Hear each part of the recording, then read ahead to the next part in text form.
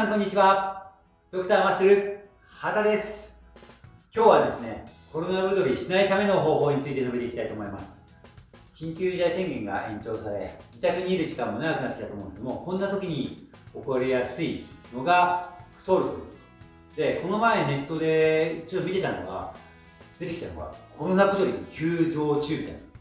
増えてきてるみたいな感じで書いてあって、えって思って、ちょっとまあいろいろ読むと、やっぱり不活動、リモートとかで通勤時間帯とか、まあそういう、ね、移動時間、移動の距離ですね。で、まあ、不活動になっていって、摂取消費のバランスが消費が低くなって太っていったっていうのがあると思うんですけども、まあ、これを解消するには、まあ、今言ったように摂取消費のバランスを整えるっていうことが大事です。なんで、こうなってる、消費が下がってきてる分、摂取を減らす、もしくは消費を減らす。このどっちかが基本。まあ、両方併用するのももちろん大事なんですけども、今日はね、この2つの改善の、改善策について述べていきたいと思いますので、最後まで見ていただくと、ダイエットの秘訣もわかると思います。で、え、っと、まあ、摂取消費、このバランスがリモートで下がってきてる分、これをどうにかしないといけないんですけども、まずね、あの、摂取消費のバランスを見る上で考えなきゃいけないのは、あの、カロリーバランスを整えることと、あともう一つが、これ大事です。筋肉量をできるだけ維持する。ね、まあ、最高なのは増やせると最高なんですけども、できるだけ筋肉量をリモートに落とさないんですよ。これが大事です。なんで、まあ、もし落ちてしまうと、復帰した時、日常生活に戻った時にまた介護なのなんだらなんだらあって、太りやすくなっちゃうんですね。なんで、ちょっとね、摂取を減らすけども筋肉が落ちないように摂取のコントロールしなきゃいけない。で、一気にね、もう糖質制限とか、まあ、ケトジェニックとかいろいろありますけども、まあそういうあの偏ったダイエットをすると、私の経験上もそうですし、まあ僕自身もいろんなことやってましたし、あの、お客さんにもね、いろいろ、まあ失敗したことももちろんあります。で、そういうことも懸念して、偏った食事のコントロールというのはあんまり良くない。で、えーと、私のおすすめは、やっぱ摂取カロリーは落とすけども、筋肉量をあんまり落とさないんですよ、まあ、すなわち、糖質とか脂質、まあ、糖質っていうのはタンパク質、炭水化物とか、ね、炭水化物っていうのは糖質と食物繊維の複合なので、まあ、糖質イコール炭水化物じゃないんですけど、この炭水化物、糖質をなるべく減らす。糖質と、脂質をちょっと落として、タンパク質はなるべく維持、もしくは少し増やすぐらいがいいと。で、維持しており筋肉量を、筋肉の元にあるタンパク質っていうのをなるべく取っておく。で筋肉量を落とさないんですよ。落とさない。筋肉量を落とさないようにして、なるべく維持していって、消費カロリーを、ね、リモートでも増やしていくっていうやり方ですね。で、この摂取の落とし方なんですけど、私のおすすめは、糖質と脂質を、まあこれね、あの、まあ、リモートの具合にもよるんですけども、3分の2から半分ぐらいに糖質、脂質をコントロールしましょう。落としましょうってことですね。で、糖質、脂質を落として、まあ全体量、カロリーはある程度少し落としつつも、タンパク質の量は維持か、もしくはま1.2倍、1.5倍。まあ、こっちを半分にしたら、糖質脂質半分にしたら、まあ、こっちは1.2倍、1.5倍ぐらいタンパク質を増やす。で、トータルの摂取カロリー自体は若干ダウンぐらいな感じにします。で、そうすると若干ダウンでも、あのー、タンパク質を取ることで、しっかり取ることで、あの、糖質と脂質の吸収率も、体に吸収率、速さを落とすことができるんですね。まあ、これはあの GI 値グリセミックインデックスっていうあの GI 値っていうのがあって、例えば糖質だけ、白米だけ取ると、ギュンと上がります。あの、体の吸収が早くなる。GI 値が高いっていうことなんですけども、体の吸収が早いイコール太るっていうことですね。で、でも同じ糖質を取って、こう白ご飯を食べたとしても、それに食物繊維、お野菜をしっかり取るだけで、吸収率が緩やかになります。同じ糖質ですよ。白ご飯同じいちごを食べて食べるだけとそれプラス食物繊維を取ることは GI 値がこの飛び込みの速度が緩やかになる。ちょっと緩やかになる。こう上がってたのがこう緩やかになる。っていうことは太りにくいということなんですね。なんで食事の取り方も糖質を、まあ、ご飯パンとかパスタを半分とか3分にするんですけどもそれに加えて食物繊維。これタンパク質もそうタンパク質を取っておくとこの白ご飯の吸収率が下がります。ので、これね、必ず取ってほしいです。イメージ的には、白ご飯のできれば倍ぐらいの食物繊維とタンパク質。タンパク質も糖質の1.5倍ぐらい量を取ってほしいですね。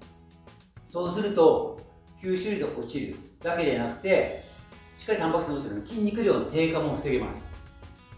ね、簡単に言えば筋肉量を落とさないようにするためにタンパク質を取って、摂取カロリー全体もいつもよりも少しダウン、脂質と糖質を落としますので、少しダウン。プラス、この糖質の吸収率。吸収率もタンパク質とか野菜とか取ることでダウンさせて太りにくい体を作ってやる。ね。で、もう一つ、消費カロリーを上げるっていうことなんですけど、これね、やっぱり、私的には、え、って思っちゃうんですけど、まあ、これまあ人それぞれだと思います。まあ、私的にはね、時間があるのに太る運動量が低いって、それは意識がないからだろうみたいな感じでどうしても思っちゃうんですけども、まあね、まあ、そうじゃない方もいらっしゃって、もなかなかもう一人じゃ出歩かないしみたいな感じでね、まあ、どうなっちゃうと思います。もう僕的にはいいわけですよ、それは。まあ、まあ、厳しく言うと、時間がないことないだろうね、感じなんですけども、まあ、時間があっても動けないわっていう人もいると思いますので、まあ、そういう感じの方にとっては、まあね、最低でも筋トレとかでできないっていう方は、時間があるけどできないっていう方は、もうね、増やすしかないので、運動量を。もう決まった時間、この時間は座らないとか、この時間は、例えば絶対掃除とか、片付け、あの、まあ、庭でもいいです。庭がある方では庭を掃除するとかでも何でもいいですけども、座らない時間、動き続ける時間を取るっていうことを確保してほしいですね。例えばもう朝起きて、なんだかんだして、ご飯食べて、まあ、ちょっとまあゆっくりすればゆっくりしてもいい。で、あじゃあ10時から11時、1時間は1回も座らない。ソファーにも座らないし、何ももう立ち止まらない。ね、なんでもう動き続ける。何かを片付けて掃除かける。庭掃除するでも何でもいいです。もうやること探せばいっぱいあると思うんで、そういうことをやっていく。まあ、リモートの、ね、合間でもいいですよ。で、まあ、休憩時間でもいいので、まあ、ちょっとそういうね、まあ、休憩時間いつもご飯食べに行ってたら、その、行って帰るって食べる、ね、往復のカロリーもね、その分、リモートでないわけなんで、その分のカロリーを稼ぐっていうことを意識しないといけないです。なんで、消費カロリー、筋トレができないんだったら、そういう日常生活レベルの活動量を増やしていくっていうことですね。これがすごく大事。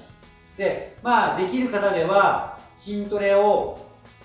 ちょっと取り入れてくる。やっぱ筋トレして、食事でしっかりタンパク質と筋肉量上がりますので、そしたら同じ睡眠6時間、7時間とってても消費カロリー上がるんですよ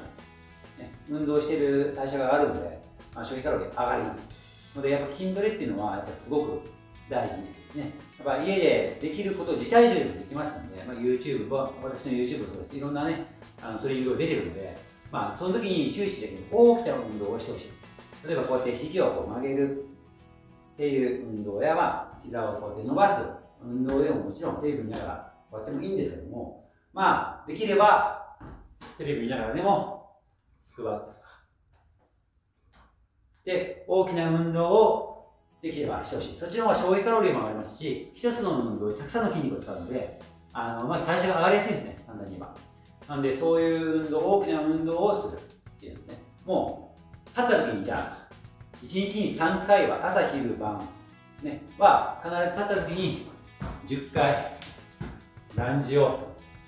しよう。でもいいです。でもう決まった時間に決まったことをする。お風呂入る前にちょっと動かすっていうのを決まった時間ね。決めてやるっていうのをやった人間ってあの弱い生き物なのでやっぱどうしてもできない人はできないんですね。なんでそこは決めてやるとかできなかったらオンラインで友達と一緒にこの時間やろうねとかいう、まあ、対策をするとかですね。まあ太りたくないならそれぐらいやった方がいいと思います、まあ、今はね時間がやっぱりあるので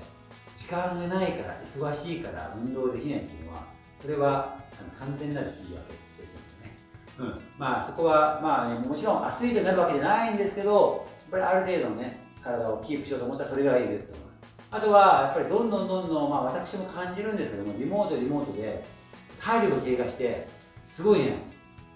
まあ、おじさんおばさん化している人も多いように思いますなのでどんどんどんどん猫背に座る力なくなって猫背になっていって活力もなくなってでコロナだコロナだって言って、まあ、メンタルも下がっていってなんですけども、そこをやっぱり運動するだけでポジティブな選手になれますんで、僕は、今コロナの状況ですけど、もうすっごいいつもと一緒。メンタルもいつも元気ですし、いい感じです。なので、やっぱり運動ってそれぐらい効果ありますので、まあ、ちょっとね、日常生活レベルで上げてほしいです。なので今日は簡単に言ったコロナ太りしないための方法、摂取消費のバランスとまず摂取に関しては、まあ、全体の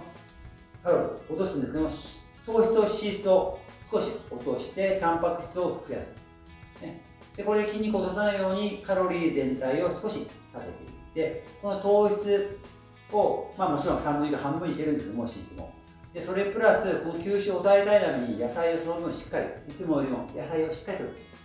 タンパク質をいつもよりしっかりとる。ということで、ね、あの吸収を落としていくっていうやり方ですね。これがまず一つ。で、二つ目が日常生活レベルで運動量を上げていくっていうことなので、決まった時間、この時間は座らない、だらだらっとしない、もう常に動く。この時間帯は動きすぎるという動く時間っていうのを確保する、この2つです。この2つをちょっと頑張ってし動く時間を確保することで食事ですね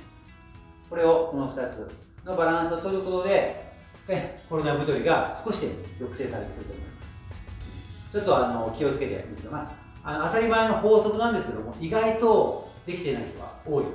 だから太るんですね。なので太るにはほぼほぼ確実に99%ぐらいの確率で理由がありますので